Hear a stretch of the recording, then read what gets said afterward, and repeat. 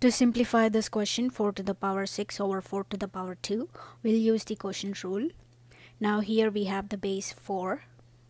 Let's write 4 to the power 6 minus 2.